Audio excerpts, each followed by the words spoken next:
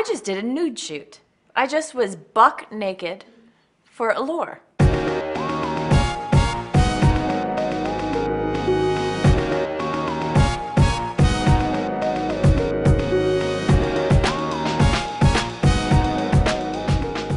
feel really accomplished right now because it took a lot of courage for me, who can barely take off her clothes in front of a doctor, um, to do this. I took off my robe and let it all hang out. When I was walking out the door, I'm like, there's nothing to prepare for this. I'm just stripping my clothes down.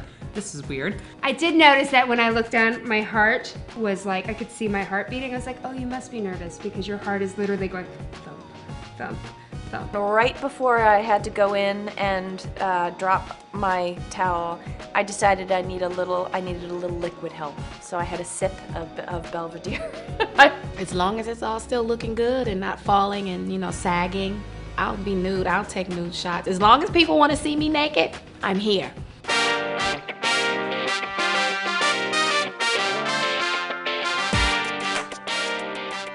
Haven't told my family. Um, I will. I like to surprise them to hear what they have to say. Actually, I did tell my mom. And she was like, girl, you go, girl. My mom used to lay out naked, so I was always like, as a kid, like, mother, would you put some clothes on? She's like, oh, you look so pretty. I think I called my boyfriend. Um, my boyfriend and my publicist, one of the two. Which my publicist is my gay boyfriend anyway. I've told some friends, mostly because I've been starving myself for three weeks. And so when they ask me to go out to dinner, I have to prefix it by saying, preface it by saying, you know, I'm actually not eating right now. Preparing for this shoot, I did my juice cleanse um, for three days. I went on a juice cleanse, which I do, and let me tell you, I was angry. My boyfriend was like, oh, thank God I'm not with you right now because you're not nice on the juice cleanse because you're so hungry and you get hostile. What part of my body do I enjoy? Hmm. I- this is gonna sound so weird, but I really like my wrists.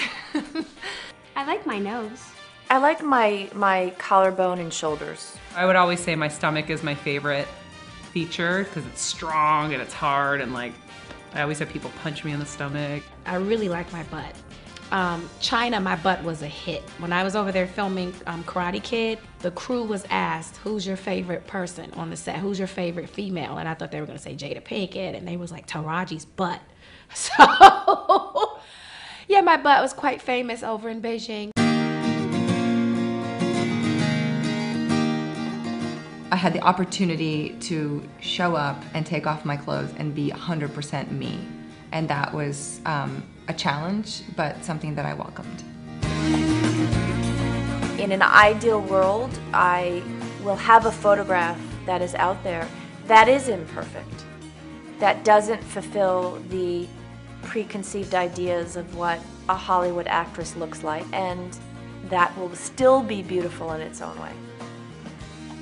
You know, you have women of different shapes, different sizes, you know, doing this, um, different body types.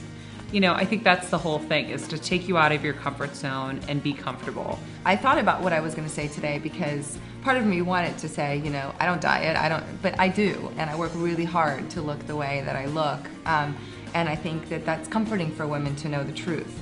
You know, I feel good. I like to show. It's a good thing when you can show women to um, to love the skin that they're in, and just be comfortable with God, with what God gave you.